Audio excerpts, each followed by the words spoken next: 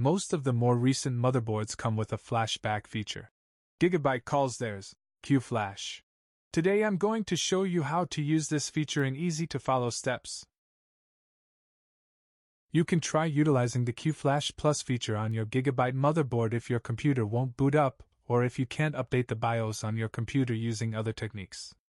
This method is also perfect for brand new motherboards if you're planning on a new build. However, it is not necessary. But if you want your Mobo to have the most recent BIOS upon booting up for the first time, flashing the BIOS would be the first thing to do. Before we move forward, first, these are the things you will need. Your motherboard, of course.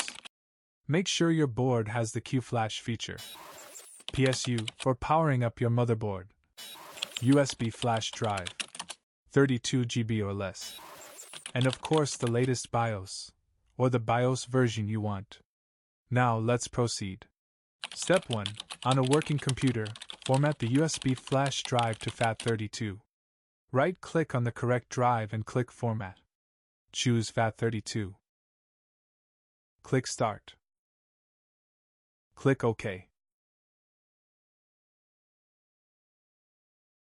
Click OK. Close.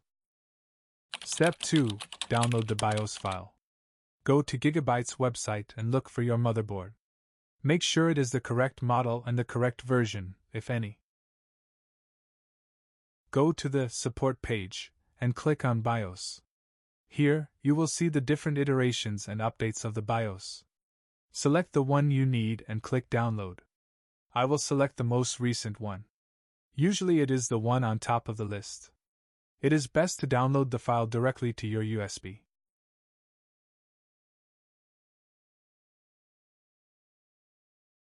Once the download is complete, right click on the zip file and select Extract here.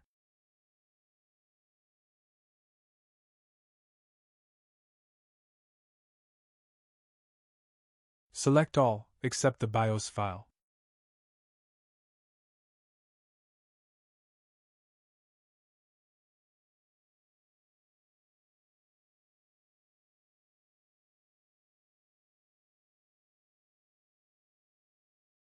Right click and rename the file to gigabyte.bin.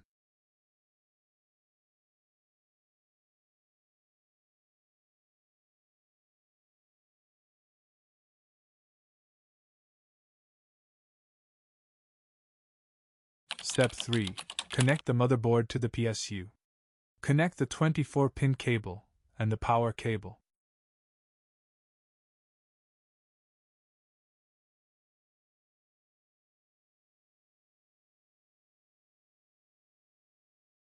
Turn the PSU power on.